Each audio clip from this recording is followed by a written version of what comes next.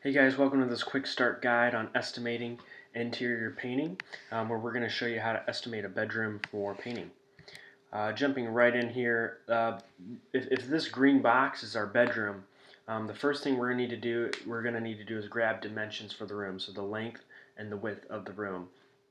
And to do that, you can use a measuring tape, but um, the fastest way is by using a laser measure, something that looks like this uh, which you can buy at Home Depot for 25 bucks. So going back to this room, if we uh, shoot the laser, we get our dimensions. Uh, in this case, it's a 10 by 10 room. Um, those are our dimensions. That's all we need, length and width. Um, just to give you an idea, this is what an actual 10 by 10 room would look like. As you can see, it's a little bit on the smaller side, but we're favoring uh, the 10 by 10 setup here because it's we, we've got really nice round numbers and it's going to make for really easy math for us. So once we have our length and our width, we're going to multiply those two to get our uh, square feet, so our square footage of the room, which in this case is going to be 100. Now we're going to break our price down on a couple of different uh, in a couple of different areas. We're going to give them a price for the walls, we're gonna we're gonna kick out a price for the ceiling, and we're gonna get a price for the trim. And you don't necessarily have to give your customer all three of these prices. I mean, if you're doing a bunch of rooms, it wouldn't necessarily make sense to show them the price for all three of these. But this is just more for you and, and your knowledge of how you're gonna you're gonna bid the job. So um, to get your wall price, you just take the square square footage, you multiply that by two. To get the ceiling price, you just take the square footage on its own and and uh, the same thing for the trim, just square footage on its own. So that gives us these numbers. So for the walls, about 200 bucks. For the ceiling, about 100 bucks, and for the trim, about 100 bucks. And this is for labor. So um, again, this doesn't include your your your paint in here uh, as of yet. So again, we're using a really simple formula that's going to give you a really quick answer. It's not it's not you know 10,000% accurate, but it's going to give you the quickest possible answer, and it's going to be probably within about 10% of what you would get using a, a more calculated formula.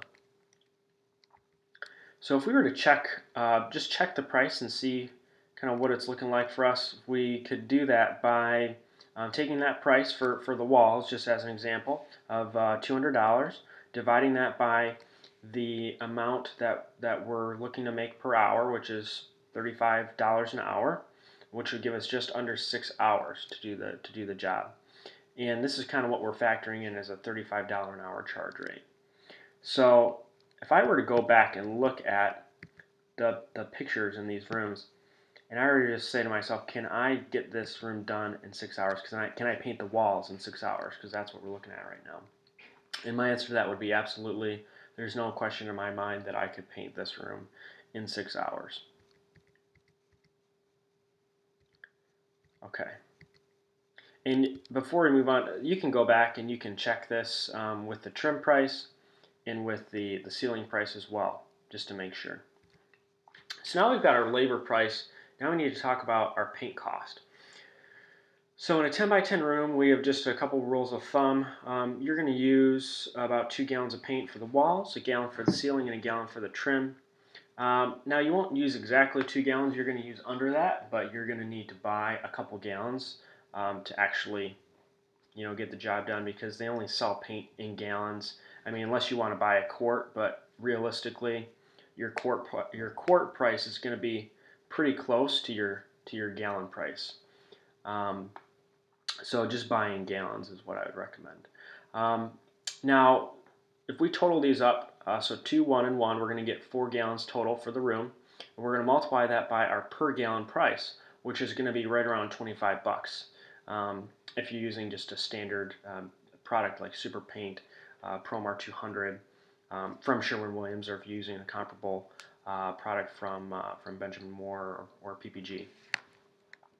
So that's going to give us, give us a $100 paint cost. And so if we add these up, uh, that's going to be 400 bucks that the customer is going to pay in labor, 100 bucks that the customer is going to pay in paint, which uh, adds up to a total cost to the customer of 500 bucks, which is definitely reasonable for um, a 10 by 10 room. If you guys like this video, let us know what you want to see next in the comments below, whether that's more advanced estimating tips or marketing or sales or whatever that is. Let us know what that is. Uh, we'll see you next time.